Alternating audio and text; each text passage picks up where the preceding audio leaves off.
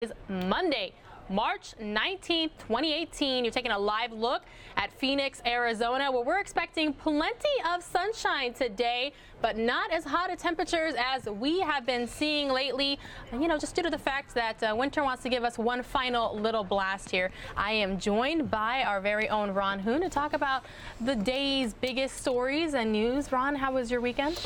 Uh, Pilar was busier than any weekend I've had in a year. I emceed the St. Patrick's Day Parade I Saturday morning. How was it? Well, you can go to my Instagram page, that's Hooner Fox 10, and I'm like walking practically right along with the bagpipers. Oh, These man. guys and their kilts and the bagpipes playing. I just love it. Awesome. It's fantastic. So, uh, anyway, that parade was uh, happening uh, through the course of the entire morning, went almost two hours there in the downtown Phoenix area. And then in the evening, uh, they do a big uh, event every year out at Falcon Field in Mesa, and I was the MC for that. By the way, I should just mention, I didn't even mention this uh, on Fox 10. We always have a couple more minutes here Uh-huh, on Fox 10. Extra. This was a really scary situation. I'm in the middle of emceeing this dinner, and there were over a thousand people for the dinner, and one person had a heart attack. Oh, no. And uh, it was a really serious situation. I was about to start a, uh, a costume contest on the floor. This the, it goes back into the era of the 1940s because they have all these old World War II era airplanes, and it is a little bit of an older crowd. And so this uh, elderly gentleman had a full-on heart attack, and there was somebody doing chest compressions on Oh, him. no. And I mean, it was a very, of course, we stopped everything all at once, and I was urging people to try to stay out of that area. And then somebody remembered, and this is the point of my story here somebody remembered that they had installed two defibrillators. Ah, AEDs. Yep. And literally, that made the difference between life and death. Uh, because I, you could, I could hear the, a person I believe was a doctor shout clear, you know, as he had the paddles on the uh, on the older gentleman, and then it got his heart restarted. Because up until that point, I mean, he was a goner. Wow. And so then the paramedics arrived shortly after that, and uh, couple of things. I asked everybody in attendance, more than a thousand. I said, "These guys say these firefighters and paramedics save lives every day, but rarely would they get any type of applause for what they do. It's just part of the job." Mm-hmm. And the place just rang out with applause. Many people stood up to give them a standing ovation. Just the work that they do and the fact that they got there quickly and got this man stabilized and got him off to the hospital was I mean it was all the, the whole thing was pretty emotional. Wow. Of course. But it's just a good reminder if you hear about efforts at your business or your school or your uh, nearby airport or your governmental building and there aren't any AEDs there yet, these defibrillators, pass the word along. In this case, I truly believed it saved a man's life on Saturday. But it's not just about having them, it's about knowing how to use them. Yes, yeah, absolutely. And people, there are, there's training that you can go through.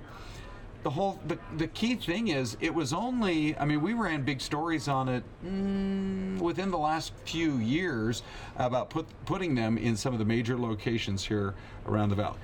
You know, uh, and so that effort has been underway, but I had never seen it firsthand where literally a life was hanging in the balance, and thank goodness it all worked out the way it did. Right, right. Yeah. Gonna switch gears. So a that little was a much longer answer to That's okay. how was your weekend? That's all right. We're going to travel to Austin, Texas now. Okay. Uh, where there's some more explosions going on, package explosions. Oh, this is well, yeah. So we had three package explosions, and now we've had a fourth, and it's completely different. And here's what's scary about it. I think that up until uh, last night, if you lived in Austin over the course of the last couple of weeks, and you had heard, all right, so we had one package bomb go off. and then we had a second, and then we had a third. You could still feel safe enough if you d- if you weren't buying things online and you didn't have a, a package land at your front doorstep, or even if you did and you just didn't want to pick it up. I think you could feel like, well, I'm just not in the thr uh, at the threat level, you could call it.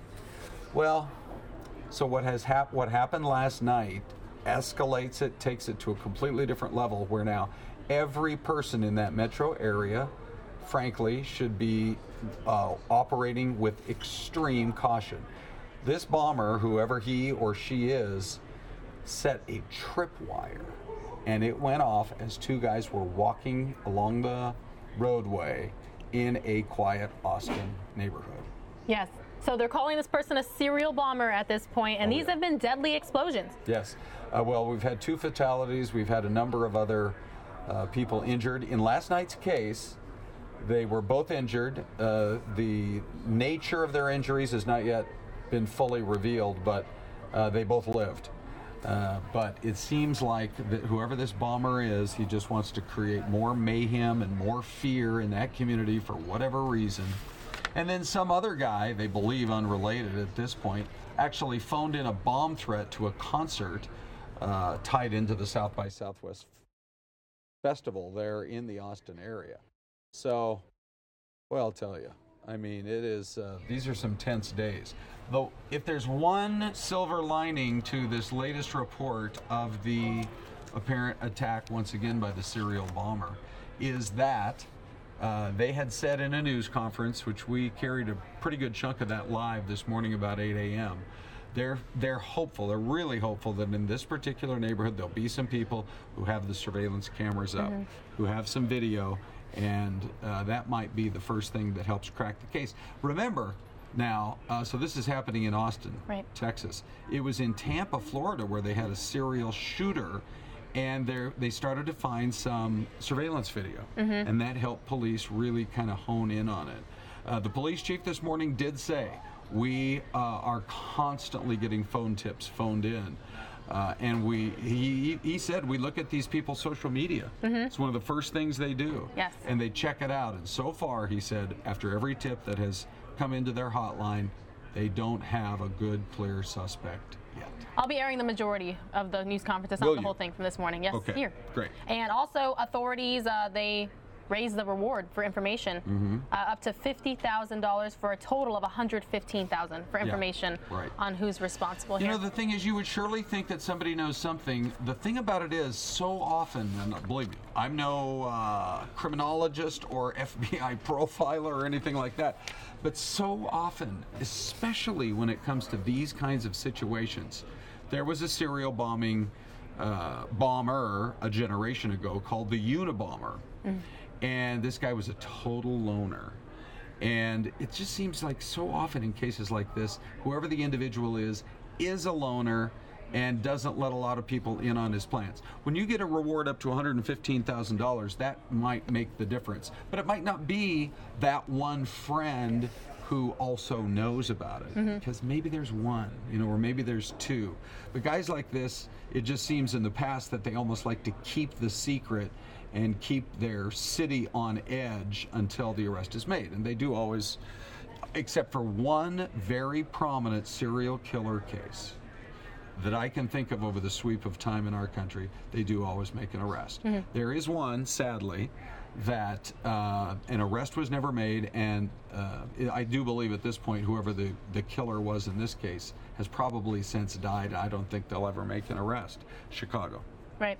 the Tylenol killer. If you're wondering why every time you buy a uh, uh, a pill bottle, you know whatever's on it, and you have to peel off that little Layer of the film. that little layer of the film or the aluminum foil or whatever it is, it all relates to. Um, somewhere it was right around 1980 80 81 82 right in that time frame where a serial killer went into some drugstores and tampered with uh, these Bottles. yeah these bottles and the pills specifically and people would take them and they would die Wow. in chicago and they never cracked that case you can go read up on it you can google it i mean you can read up on it for hours. But that is the only instance that I can think where we had a serial killer, a number of people die, and they never caught the guy. They even had surveillance video back then. Wow. But they still weren't able. I'm a huge proponent. Uh, matter of fact, Pilar, there have been a few times uh, that uh, we're on the air. We'll put on some store's grainy video, and I'll say, "You guys got to up your game."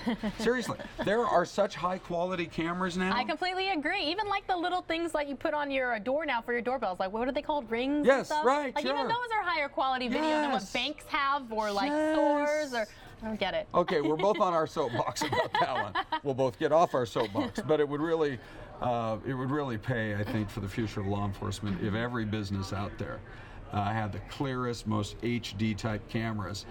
Uh, and in this case, who knows? Maybe somebody will be going through their video today and come up with that one clue because they need to get this guy caught, captured, prosecuted, and put in prison for the rest of his life. All right, Ron. Well, we're on Fox 10 Extra Live now, but a lot of people don't know that we start the stream an hour before the television show actually starts. Right. So we showed President Trump and First Lady Melania Trump heading to New Hampshire for a talk on opioids. Yes. Uh, all right, so they uh, climbed aboard Air Force One and headed into New Hampshire, and this is really fascinating for two reasons. Number one, uh, it made huge headlines when Rodrigo Duterte, the leader in the Philippines, uh, s- announced a death penalty for drug dealers there that they wanted to crack down on, and it seemed, you know, in our country, we have multiple states where they don't even have a death penalty. Uh, you can literally commit any crime, the most heinous you can think of, and all you're going to get is life in prison. Uh, but we do have many other states, including Arizona, that has a death penalty, even though it's rarely rarely used in our state or frankly in any state. But uh, Duterte came out and said, "Uh, we want to have the death penalty for drug traffickers. We believe the advance word is that President Trump is going to call for the same thing in this country as a way to crack down on this, particularly the opioid issue, but heroin dealers, the, the most extreme kind of drug dealers that are, as the president says, by virtue of what they're doing, killing a lot of people. Now, it's an idea. Uh, to actually see it implemented, you know, that's an open question. But that will be a major headline today. There'll be a second headline, Pilar, coming out of New Hampshire, and that is that if you want to look at it, this is a very early way for President Trump to go to perhaps the most important state of all 50 when it comes to elections mm-hmm. and to spend some time in New Hampshire. Why? It was just last week that the local senator here in Arizona, which a lot of people wonder if he's going to potentially run for president, Jeff Flake, uh, spoke at an eggs and politics breakfast in New Hampshire. Now there's growing talk that John Kasich, the one time congressman, the frequent Trump critic, the Ohio governor, is potentially uh, interested in a presidential run in 2020. It's a little different to have an in uh, an incumbent in office facing challenges within his own party.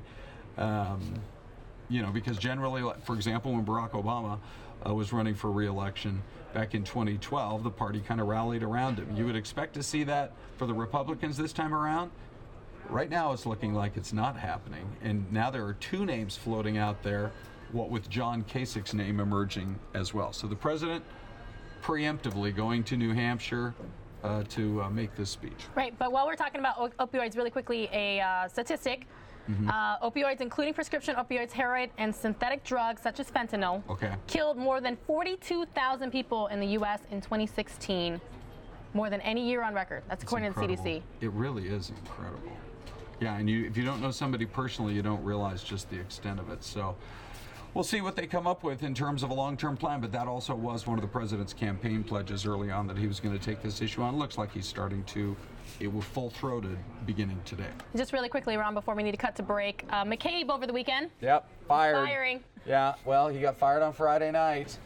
But, uh, you know, apparently the inspector general inside the FBI had interviewed him, had determined that he was the source of leaks of Bureau information to the media, and then was.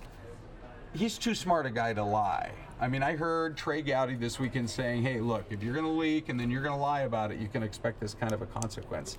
My understanding, my overall belief is that he's way too smart uh, of anybody who's been in the legal system for that long to quote unquote directly lie about it. But they said that he was uh, just his answers were very evasive and elusive, and it appeared that he was trying to kind of cover up what he had done. So it looks like it cost him big time. All right, Ron, well, thanks again for joining us.